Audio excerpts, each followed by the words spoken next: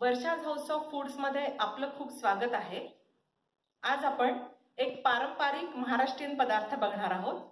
जो आपल्या आजीच्या काळात हमखास घरी केला जायचा तो म्हणजे गुळपापडी.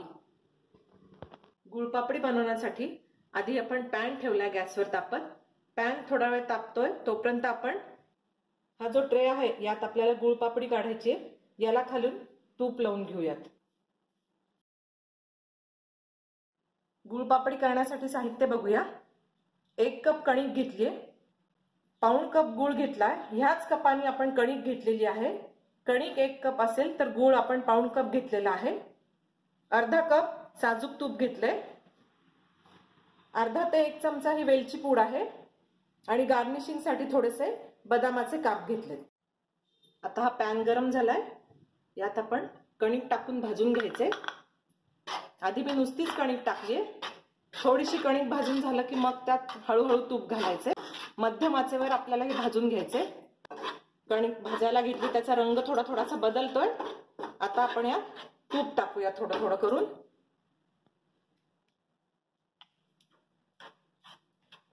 तूप टाकून पण आपल्याला ही छान खमंग भाजून घ्यायची गुलाबी रंगावर ही छान भाजून घ्यायची आणि अजून तूप घालूयात आता.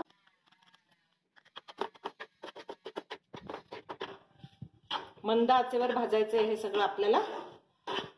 नाही तर करपायची शक्यता आहे कणिक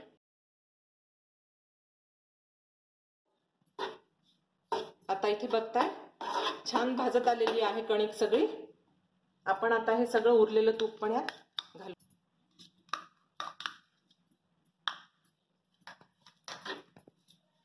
पंधरा दिवस ते महिनाभर अगदी आरामात ही वडी टिकू शकते गुळपापडी हे बघा हे असं टेक्स्चर आलं पाहिजे याचं. साजूक तुपाचा एक मस्त वास लागतो गुळपापडीला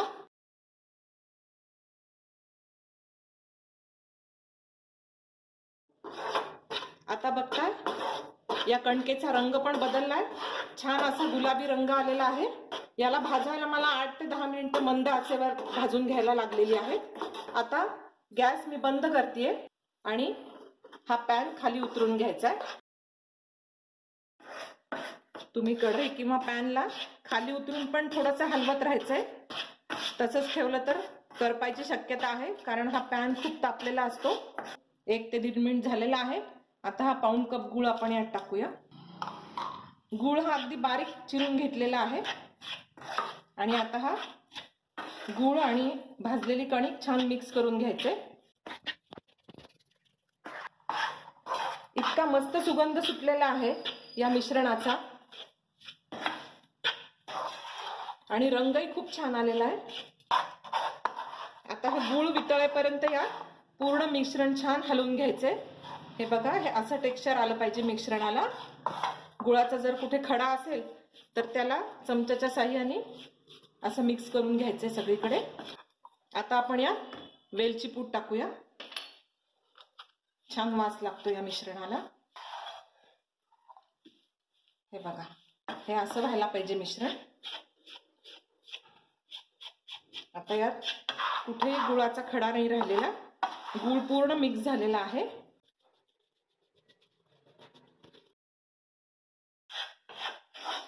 हे असं मिश्रण कोरडं व्हायला लागतं. आता ह्याच वेळेस आपल्याला आपण जो ट्रे आधी तूप लावून घेतलेला होता त्या ट्रेमध्ये हे मिश्रण काढायचे. आणि याला चमचाच्या साह्याने छान थापून घ्यायचे. तुम्ही तुमच्या आवडीनुसार याचं जाड किंवा पातळ करू शकता ही वडी. अशा प्रकारे आता या ट्रेमध्ये आपण वड्या थापून घेतल्या. आता आपण या बदामांनी गार्निशिंग करूया. तर आपल्याला याच्या वड्या पाडून घ्यायच्या.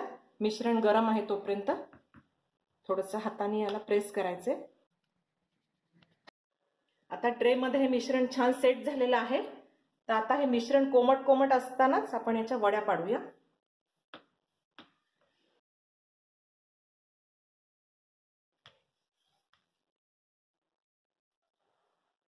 खूप पौष्टिक पण आहेत या वड्या. आणि अगदी तुम्हाला घरच्याच पदार्थात मध्ये या वड्या बनवता येतील. आता याला आपण दहा मिनिटासाठी असंच सोडूया आणि थंड झाल्यावर या वड्या काढून घेऊया. आता या वड्या थंड झाल्या आपण याला काढून घेऊया.